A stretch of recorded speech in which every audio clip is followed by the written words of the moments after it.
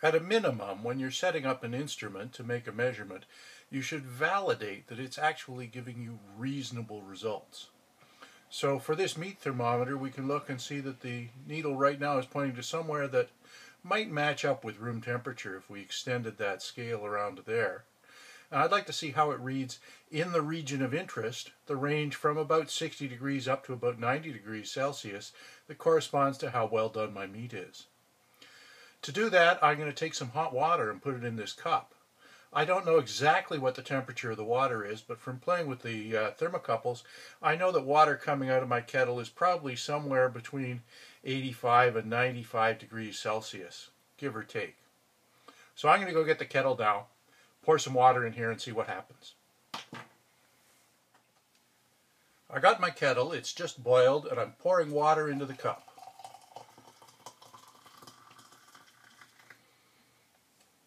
The indicator rises fairly quickly to start with, and then it slows down and let's see where it gets to.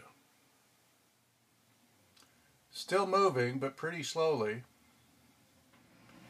That looks like about half a division above the 190F mark. So that would be about 195F or about 90 degrees Celsius. So that's a pretty believable number.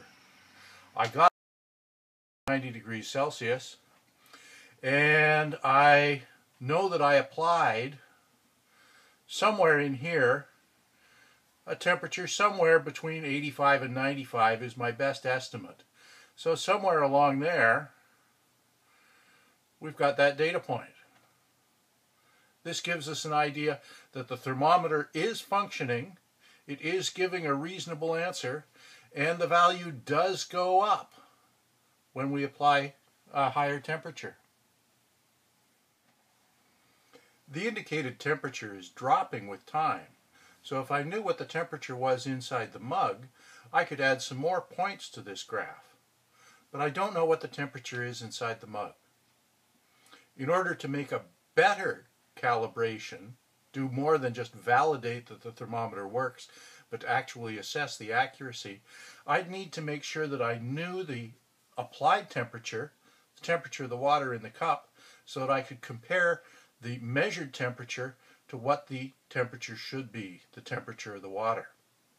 So if I knew these values more accurately, as it cooled off, I could apply a 75 degree water bath and if I got a value that was a little above this line with a slope of 1, well there's a little bit of an error there. Likewise, I could apply a temperature of 60 degrees and I might find that there was a little bit of an error there. If I did this repeatedly with known values for the applied temperature, I'd wind up with a calibration that told me how my measured temperature varied from what I was actually trying to measure.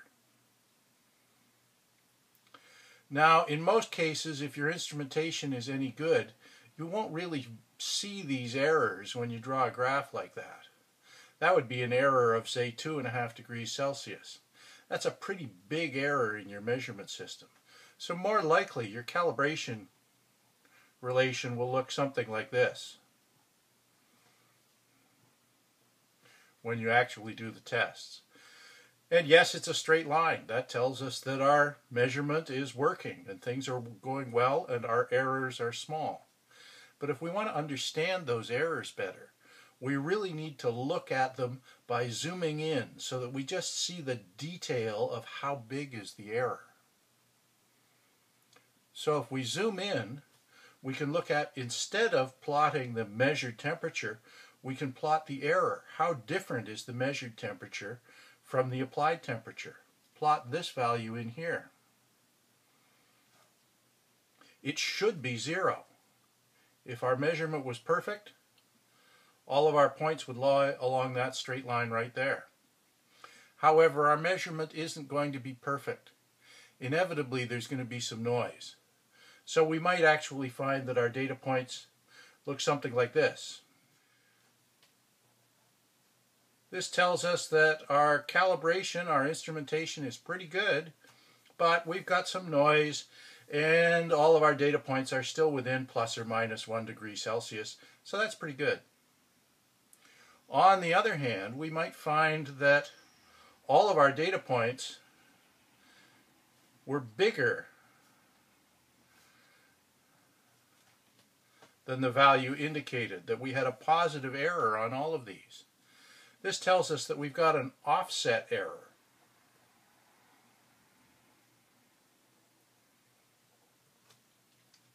All of our measured values are about 2 degrees higher than the actual value. We could correct for that in calibration. We could move all of these down by taking our measured temperature and subtracting 2 from it. They'd all wind up back down on this line. So that's our calibration process. We can detect what the errors are and adjust how we make an estimate of the actual temperature based on the readout of the dial. Likewise, if we looked at our errors and we saw some points that looked like this, the error is increasing. We might need a few more points in there to convince us that this was actually happening. This error is increasing with increasing temperature. So this isn't just a constant offset, this 2 degrees higher reading. This is a line tendency that's getting bigger and bigger as the temperature goes up. So this is a scale error. And we can adjust that to swing that line back up here closer to the zero line. So if we wanted to have a calibrated temperature, if we wanted to make the best estimate of temperature that we could, we could take TC, corrected or calibrated temperature, equal to some value A times the measured temperature plus some value B. A really should be close to 1 and B really should be close to zero. In this case, B is going to be negative 2. We're going to pull it down here with a negative 2. Here, in this case, A might be 1.02 to swing the 100 degree reading up by about 2 degrees. We can apply this same approach to calibration if our measured temperature, our measured quantity that we're, uh, that we're interested in is coming out in some other different form, for example as a voltage. If we use a TMP36 temperature transducer, then the output voltage depends on the input temperature according to a relationship that results in a value of 1 volt for 50 degrees Celsius and an additional 100 millivolts, another 0.1 volt for every 10 degrees above that. So we'd see a voltage reading of 1, 1.1, 1.2, 1.3, 1.4 as we went from 50 up to 90 degrees Celsius. We can draw exactly the same type of graph if we're calibrating a TMP36 transducer. We can do exactly the same kind of error plot after converting this through the relationship over to temperature.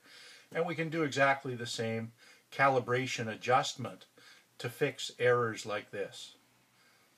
Always validate your measurement devices to make sure that they're actually working and give reasonable output numbers.